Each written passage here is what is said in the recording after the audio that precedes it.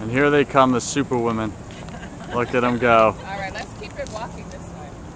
Julie is obviously in charge here. Let me uh, work on my leadership skills. All aboard! All aboard!